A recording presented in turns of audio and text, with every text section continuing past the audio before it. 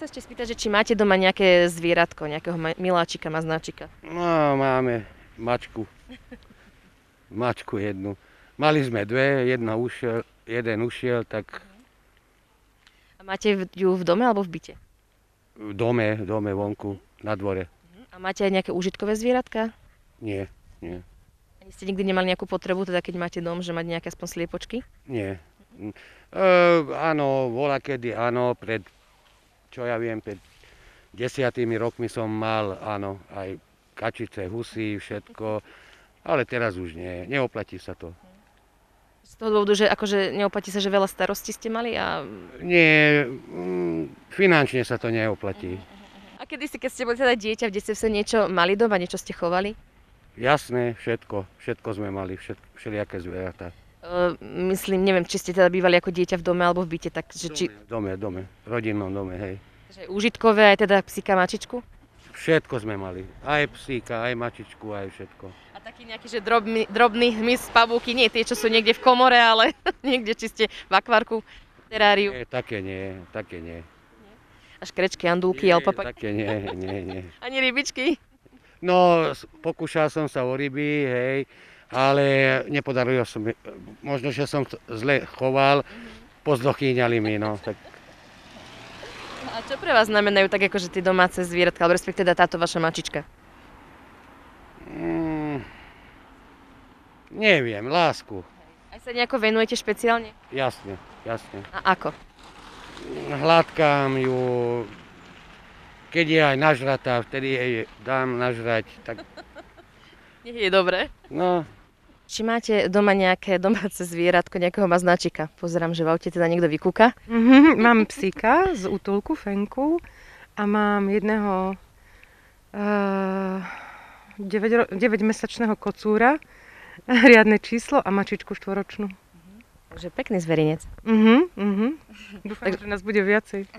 To znamená, že máte si pozitívny vzťah. Veľmi, veľmi. Mhm. A ako dlho máte tie zvieratka? A ju mám rok, keď som sa sem presťahovala. Kocúr ten je vlastne, ako hovorím, ešte nemá ani rok. Ten je čiastočne zachránený a mačku som si doviezla. A koľko času im tak zvyknete venovať? Čo s nimi tak robievate? E, Veľa, lebo mm, ja som bezdetná, takže vlastne a robím z domu, takže som veľmi šťastná, že, že s nimi môžem byť. Um, asi sa s nimi aktívne nehrám, odkedy sú traja, ale chodím denne na prechádzku, skoro denne, keď počasie dovolí, uh, s Lunou. A aj kocúr by rád s nami chodil. chodí, chodí. Aj skoro, skoro dole z kopca vojde do, do polovičky dediny, ale e, potom sú tam psi, tak zastane. Už sme rozmýšľali, že mu kúpime postroj, no ale neviem, asi to asi nie. Bývam skoro v hore, takže im tam je dobré. Sú so mnou doma, sú posteloví, ale sú aj vonku. Tak ešte taká otázka k tomu, teda čo pre vás znamenajú títo vaši domáci miláčikovia? Ach bože, veľmi veľa sa môžeme od nich učiť. Akože vidím na nich dennodenne, však oni korunu neriešia. Hej? Proste vidím tam iné hodnoty, vidím, ako sme sa veľmi vzdialili od prírody, aký sme my vlastne, koľko inštinktov nám chýba, čo oni majú.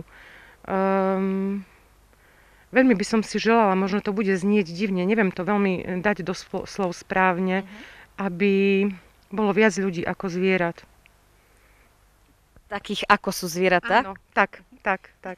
Áno. Sme si pomohli. S, asi s tou bezpodmienečnou láskou, proste s tou čistotou. Určite. Mhm. A ešte sa chcela spýtať, že či aj v minulosti ste niekedy mali dieťa, uh, pardon, keď ste boli dieťa, či ste mali tiež domáceho zvieratka? Mm, nie, až, až od 19 sme mali prvého psíka a odvtedy vlastne skoro stále Luna je môj šiestý pes. Uh, hej, ma, mačky som dlho nemala, toto sú jedny z prvých moje. A nemala som k ním nejaký vzťah a vlastne som si ich poriadila kvôli myškám. Aha, takže tam sa to zlomilo, myšky. Áno, áno, áno. A hej, a môj predchádzajúci psík veľmi plakal, keď som chodila do roboty, vtedy som ešte chodila do zamestnania. Akože aj teraz som v zamestnaní, ale nemusím nikam chodiť takto. A mm, to bolo hrozné, tak som rozmýšľala, že druhého psíka, vtedy mi poradili, že radšej si zober kocúra, že budeš mať dve muchy jednou ranou.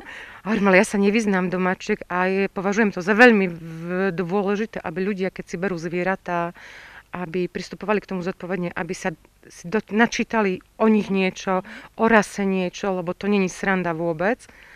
A takže prišiel kocúr, no a bolo dobré, už odvtedy akože mačky sú veľmi zaujímavé, tak ako som ich nemala rada, tak fú, klobúk dole. veľmi múdre.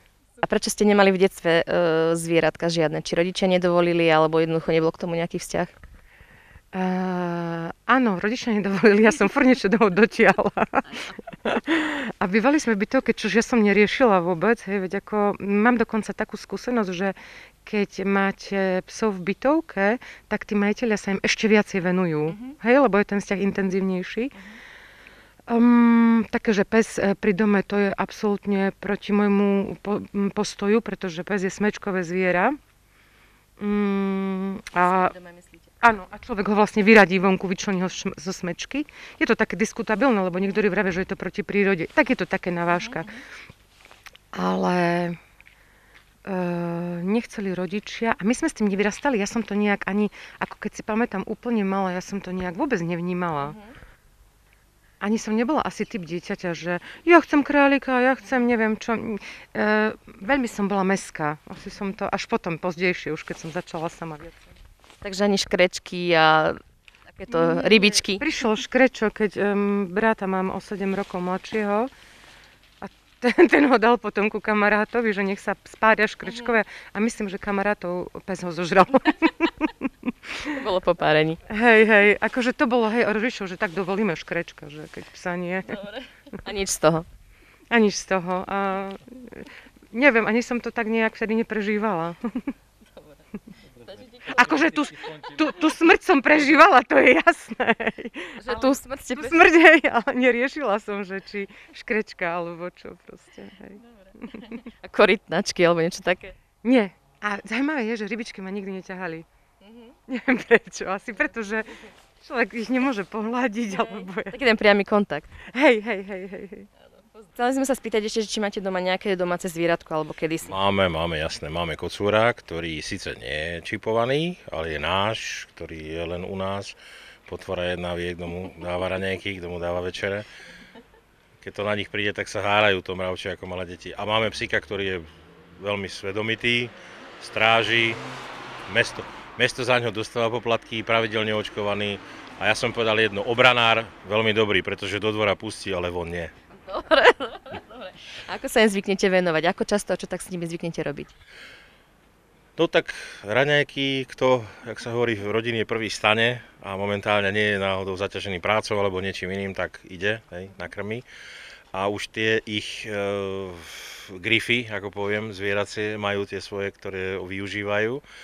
A zase my vieme, že keď sa stane, že a tak nevstal som ešte, nemusím, lebo viem, že on má niekde zašité, uh-huh. takže tiež to berieme aj z tohto hľadiska, ale áno, venujeme sa im každopádne. Chodíme na prechádzky, uh, poviem to takto, kocúr, vodítko ani obojok nemá, psík ho má, má na ňom aj značky, ktoré má podľa rokov od roku 2015 pravidelne, teraz od roku 2020.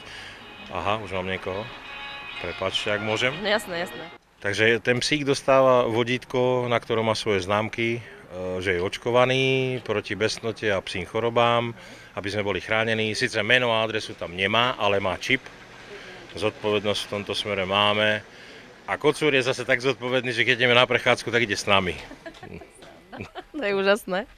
Znášajú sa veľmi dobre. Poviem to, že pes a, macka, pes, pes a mačka, že sa neznášajú, nie je pravda. Záleží o tom, že kto je s nimi na dvore. Je pravda, že náš pes neznáša cudzích kocúrov a cudzie mačky. Tak asi tak. A čo pre vás znamenajú títo vaši domáci maznačikovia? No dosť veľa. E, pretože dištančné vyučovanie detí momentálne doma, ktoré má e, môj syn, e, vlastne už je to dlhodobejšie, je to od, od októbra minulého roku, už predtým to bolo nejaké 2-3 mesiace, takže poviem to tak, tie situácie stresové, ktoré bolo treba prežiť, zabezpečiť všetko pre tie decka. Myslím si, že každý rodič urobil maximum pre ne. Tak si myslím, že vypadnúť trošku z tohto kolobehu je také pre každého jedného, že je taká tá oddychová situácia. Či už vymenčiť toho psa, alebo jednoducho výjsť na dvor, sadnúť si do altánku, ten kocúr dobehne aj sám a potrebuje pocítiť tiež to pohľadenie. Každý... Pomazda. tak, asi tak.